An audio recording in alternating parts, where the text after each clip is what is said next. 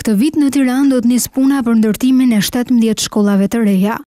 Këtë e bëri të ditur kryetari i bashkisë Erion Veliaj, nga gjimnazi Ismail Qemali, i cili këtë vit i ka pritur nxënësit me mjedise të reja. Një nga arsyet pse ne kemi një mbipopullim në këtë shkollë është kryesisht prej cilësisë, Megjithatë, hapja e shkollave të reja dhe fillimi i 17 themeleve këtë vit për 17 shkolla të reja do të ulë dhe këtë presion. Kështu që jam i lumtur që dhe Ismail Qemali brenda këtij viti do të shkojë në parametrat normal të pranueshëm të raportit të nxënësve me mësuesit. Bashkia e Tiranës ka përfunduar rikonstruksionin e plotë të klasave, palestrës dhe terreneve të jashtme sportive. Ndërkohë ka instaluar dhe sistemin e ngrohjes qendrore. Ia mbritëm kësaj dite që Ismail Qemali të hidhej në tokë dhe të ringrihej nga e para, tamam si një feniks. Të gjithë nxënësit, të cilët me shumë mirëkuptim, ata dhe familjet e tyre kanë qenë duke bujtur në shkolla të tjera, sot do të kenë një ambient fantastik të ri, rinovuar gjithçka, duke filluar nga fushat, është ndër të vetmet shkolla që ka dhe fushë tenisi, dhe volejbolli, dhe futbolli dhe basketbolli,